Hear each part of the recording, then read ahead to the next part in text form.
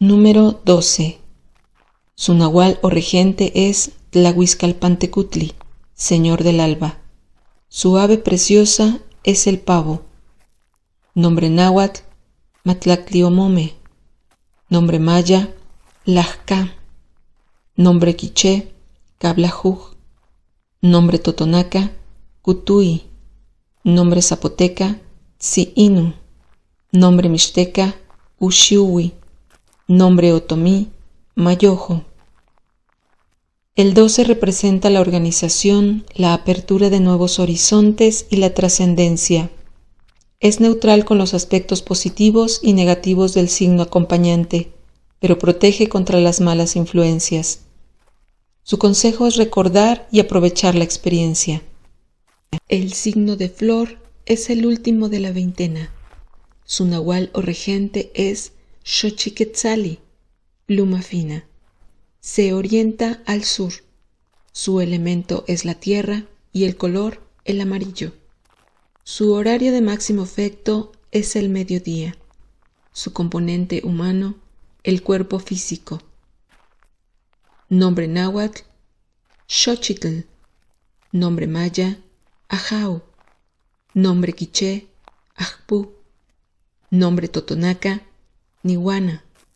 Nombre zapoteca, Lao. Nombre mixteca, Huaco. Nombre otomí, Doni. Por su posición al final de la veintena, el signo de flor resume los sentidos de los demás signos. Representa la belleza, el amor, la sensibilidad, la cultura, la capacidad artística y la búsqueda de la perfección.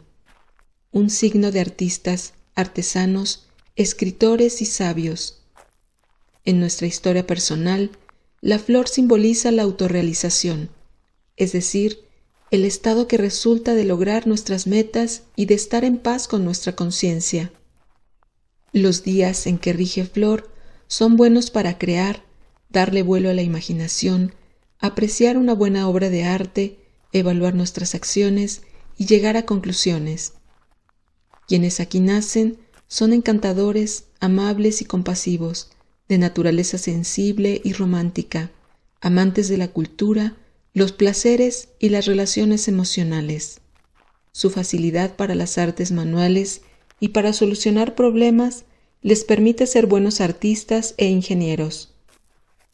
Su capacidad de prever les predestina al éxito. En el aspecto negativo, los nativos de Flor tienden a descuidar el lado material de la vida por causa de su naturaleza idealista, lo que podría arrojarlos a la enfermedad o a la pobreza. Consejo tolteca. Cuida tu salud y tu economía. Ponte metas realizables y sé realista. No exageres tu tendencia perfeccionista y no estés pendiente de la aceptación de los demás.